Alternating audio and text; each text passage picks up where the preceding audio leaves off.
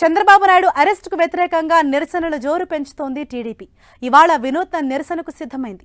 ఇప్పటికే మోత మోగిద్దాం పేరుతో ఢమరుకం డోలు వాయించుగా ఇప్పుడు కాంతితో క్రాంతి పేరుతో మరో నిరసనకు సిద్ధమైంది పసుపు దండు. ఇవాళ రాత్రి ఏడు గంటలకు ఇళ్ళలో లైట్లు ఆర్పివేసి ఇంటి బయట సెల్ ఫోన్ టార్చ్ లేదా కొవ్వొత్తులు వెలిగించి ఐదు నిమిషాల పాటు నిరసన తెలపాలని లోకేష్ సూచించారు. రోడ్డుపై ఉంటే వాహనాల లైట్లు బ్లింక్ చేయాలని కోరారు. బాబుతో నేను అంటూ వీడియో తీసి సోషల్ మీడియాలో షేర్ చేయాలని కోరారు.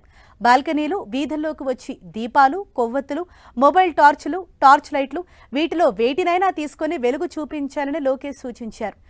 ప్రగతి వెలుగులు పంచే చంద్రుణ్ణి ఫ్యాక్షన్ పాలకులు చీకట్లో నిర్బంధించారని నారా లోకేష్ ధ్వజమెత్తారు. రాష్ట్రంలో చీకటిని తరిమికొట్టే క్రాంతి మొదలైందని చాటి చెప్పడానికి ఈ కార్యక్రమం చేపట్టినట్లు నారా బ్రాహ్మణి ట్వీట్ చేశారు.